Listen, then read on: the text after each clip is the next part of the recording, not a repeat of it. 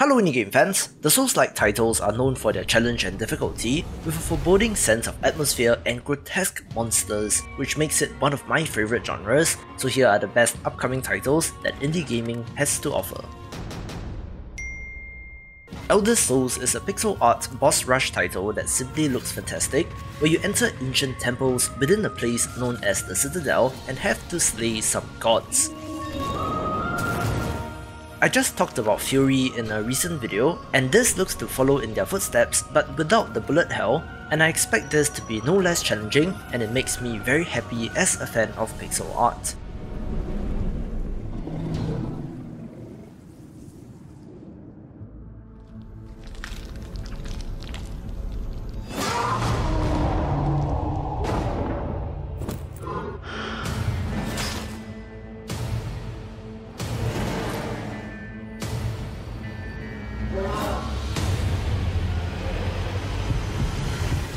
While fantasy and gothic horror have been the domain of Souls games, there are an increasing number of sci-fi entries, with Dolmen being of interest.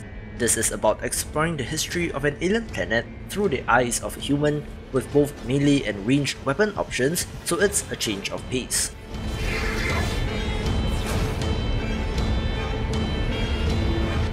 An interesting note from the store page is that there is crafting, where you can harvest materials from dead bodies, so perhaps some Monster Hunter inspiration. I believe it was initially slated for 2020 but was delayed, so I do hope that it gets the time it needs to be great. Cuts the flesh, the mind will fall. Slay the seven, save us all. Fulfill what others failed to do. Mornia depends on you.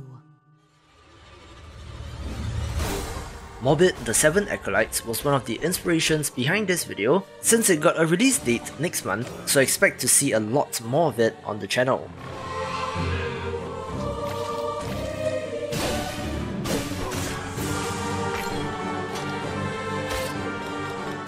This self-styled horror punk title looks gorgeous in a very similar way to Blasphemous, with its share of horrific and gory enemies and bosses.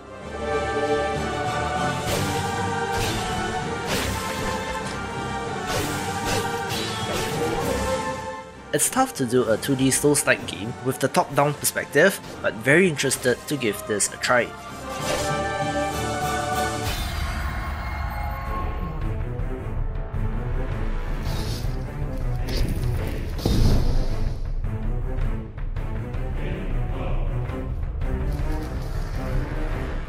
A smaller title that I stumbled upon is Deathbound, where I do like the helmet or hat that our main character wears.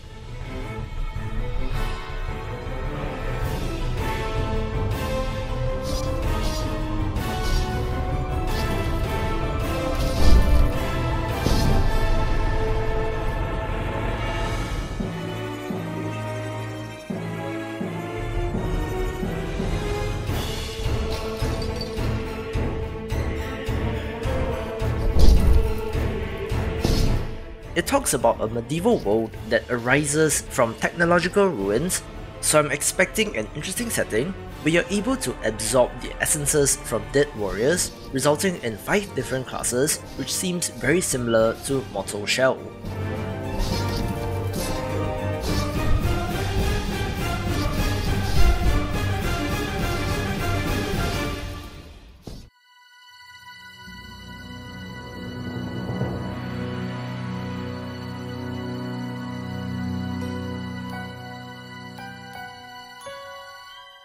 I absolutely love the minimalistic pixel art style of The Cork, which makes it very unique in my opinion, though unfortunately, this sentiment doesn't seem to be shared by an overwhelming majority since this didn't go to Kickstarter, but it was unsuccessful. It's a story of exploration of a mysterious, massive walled kingdom that appeared out of nowhere in the middle of a plague, and I do love exploring worlds like this. As far as I know, this developer is still working on it, perhaps looking for a publisher or alternative sources of funding, and as such, I'll keep you posted if there are any updates.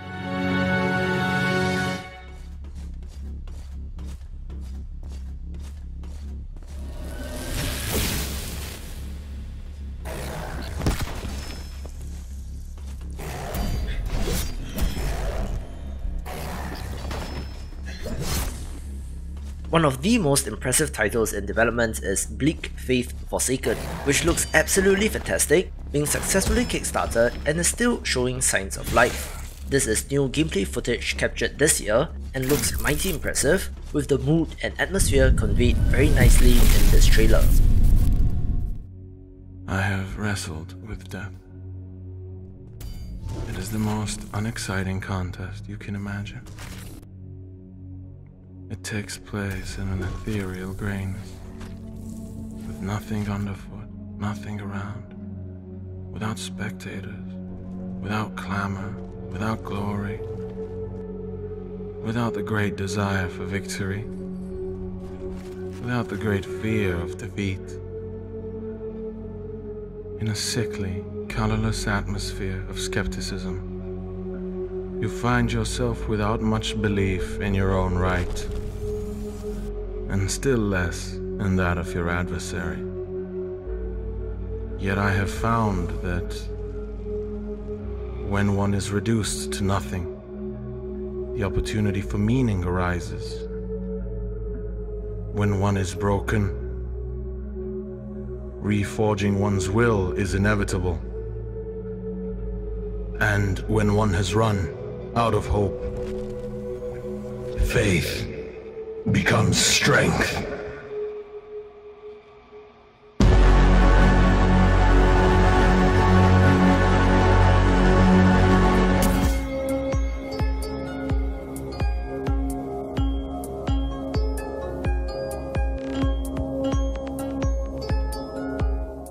Shattered Tale of the Forgotten King is a Souls-like title with platforming elements which is very interesting and this has been in early access for about 16 months so far.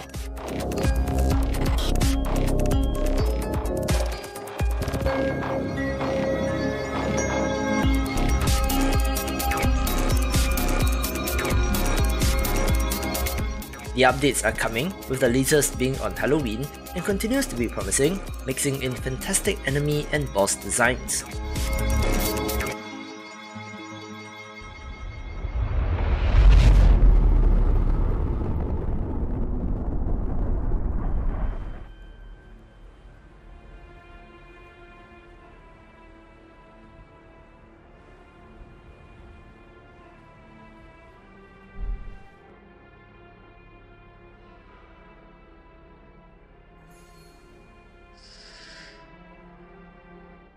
A neat looking action adventure entry is Sands of Aura, where a powerful spell has turned the world into a sea of sand and you can sail on it, delving into dungeons, fighting enemies, gaining loot, and uncovering the history of the world.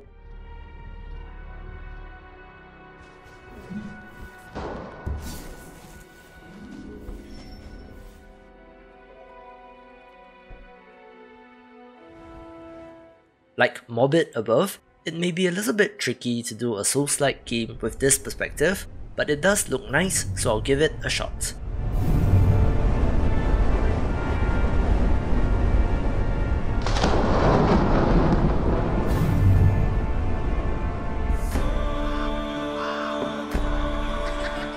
One more action-adventure title makes the list with No Place for Bravery, where you play as a grizzled warrior roaming the world in search for his lost daughter.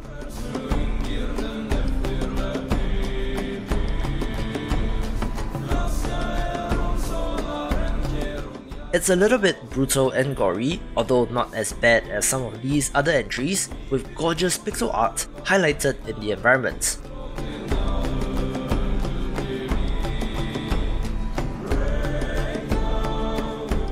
Gives me a little bit of a Hyper Light Drifter vibe and should be excellent as well.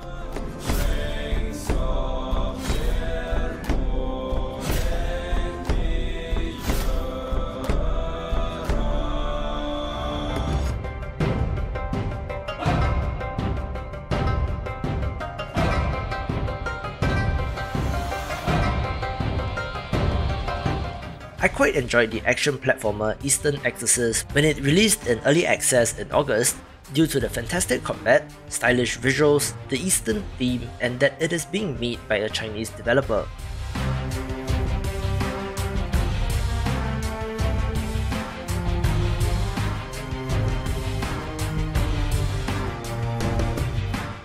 This counts in my book since there is stamina in combat, so you cannot button mash, and as with all of these, timing and the deliberate combat is a key feature.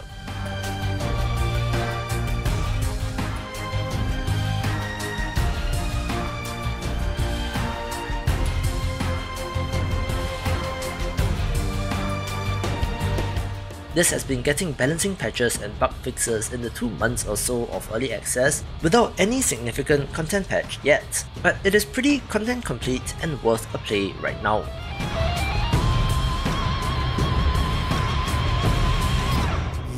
一定都听过关于他的故事。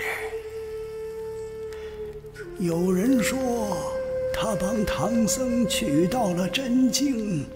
封了斗战胜佛，从此留在了灵山。也有人说，那个成佛的根本不是他，真正的他早就死在了西行路上。还有人说。西游从来都没有发生过，他只不过是说书人杜撰的一只猴子。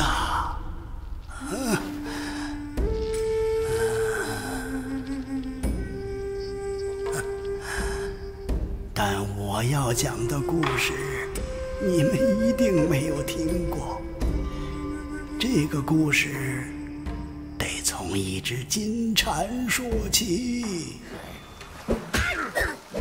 A title which absolutely captivated the gaming world a couple of months ago, Black Myth Wukong is another Souls-like RPG that draws from Chinese mythology, this time specifically from Journey to the West, where you play as the titular character.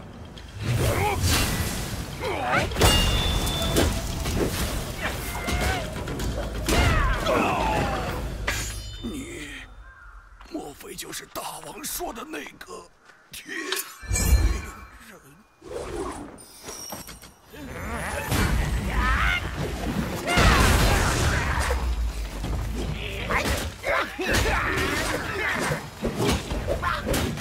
It impressed with how absolutely fantastic it looks, with many citing this as next-gen power.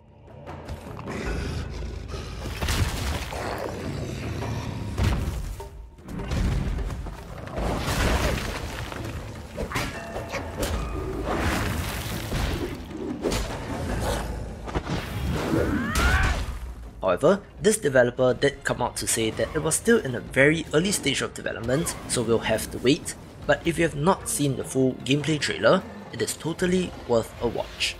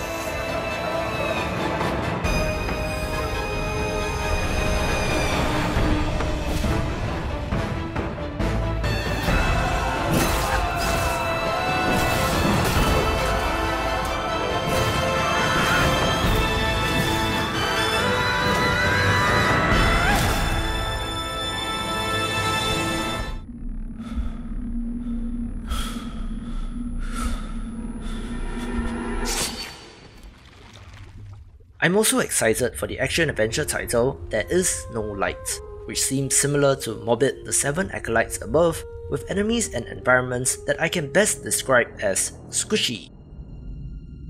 Like a bird trapped in a cage, we want to fly away.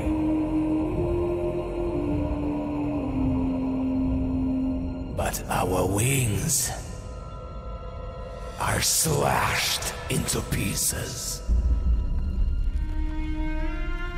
And we're left in this cold darkness.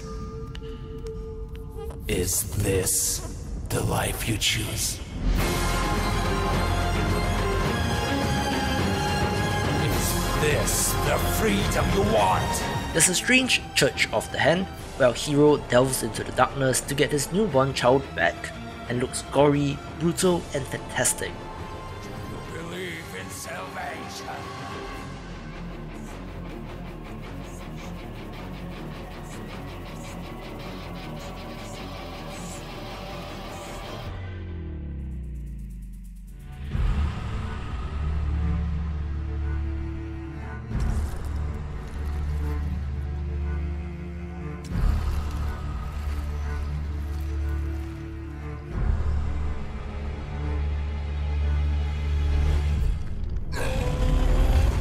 Being a big fan of Metroidvanias, Grime had my attention since it is really creepy and unsettling in all the right places, set in a world of anatomical horror and intrigue.